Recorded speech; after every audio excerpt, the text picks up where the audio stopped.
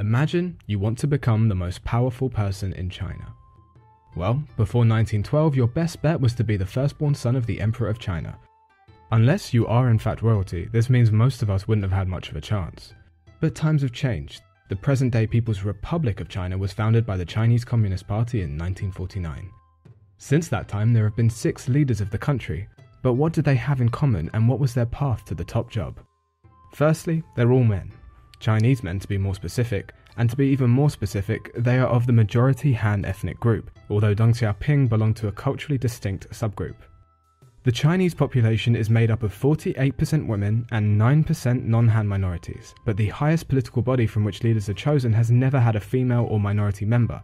Historically, women and minorities have run China before, However, their traditional means of achieving power involved being the mother of a young emperor or the somewhat obsolete military skills of horse riding and archery. Family and education have become more important over time, and while most leaders are from humble backgrounds, Xi Jinping is the first princeling or child of a communist revolutionary. Since the 1990s, Chinese politics have also become dominated by science and engineering graduates from prestigious universities. The early leaders were all communist revolutionaries who fought in the Chinese Civil War, and unless you have a time machine, the next best thing would be to join the CCP. While you're there, don't forget to say hello to your fellow members, all 87,790,000 of them. That's bigger than the population of Germany. In China, the party is king, and rising up these ranks is the only path to political power. It's so big it can be hard to even tell where this power lies. In fact, previous Chinese leaders have held differing official titles while in power, Famously, Deng Xiaoping ran the country with only the title of President of the China Bridge Association. As time has passed, things have become more consistent, with leaders holding three main jobs General Secretary of the CCP Central Committee, Chairman of the PRC Central Military Commission, and President of the PRC. These represent the three main institutions of power in China the party, the military, and the state, However, in practice, the party controls all institutions, and becoming General Secretary automatically grants you the other two jobs. Before you start climbing the long CCP corporate ladder, there are two things to keep in mind. 1. Due to its sheer size, the party has rival factions. Aligning with one will help you gain political allies and a shortcut through the party ranks. Currently, there are the princelings, who tend to be elitist and began their careers along the pro business coasts. Then there are the Tuan Pai, who typically started out in the Communist Youth League, governed in the interior and are more focused on equality and the poor. 2. As a potential leader, you are always being watched by the secretive organization department of the CCP.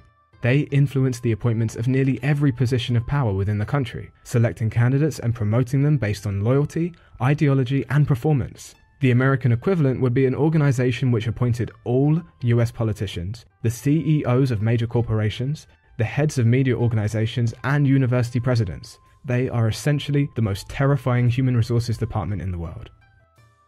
Everyone starts in local government, rising through the ranks to become mayors, governors, or party secretaries of prominent regions. Officials are expected to prove themselves outside of their native provinces to prevent local corruption and to develop the experience to succeed in Beijing.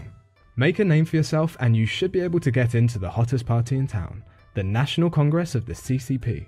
Try to blend in with the dress code identical dye black hair, red ties, and dark suits. This projects the image of a stable, united party, and it's pretty hard to develop a cult of personality without a trademark look. The Congress is held every five years, and theoretically, attendees vote on the Central Committee, which in turn votes for the Politburo, the Politburo Standing Committee, and the General Secretary. However, in reality, the vote is mostly symbolic and is limited to pre approved choices of the Politburo Standing Committee and powerful retirees. The process of becoming approved for leadership is pretty mysterious, but we do know that power struggles between factions are involved. Once you make it to the Politburo Standing Committee, you will need to keep building allies, including influential military leadership and those powerful retirees. All this will help swing your nomination for the once a decade leadership change. Promotion is also based on seniority, so you will need to move up each level before you reach a certain age, otherwise, you might be considered too old for leadership. And once you've made it, it's time to enjoy the fruits of your labour. You are arguably the most powerful person on earth, responsible for governing 1.3 billion people. Seriously, why would anyone want that job?